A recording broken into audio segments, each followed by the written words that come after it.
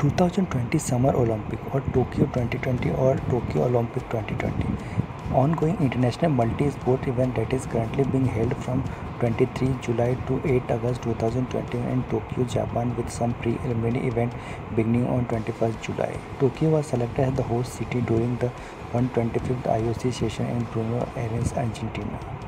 The 2020 Games in the fourth Olympic Games to held in Japan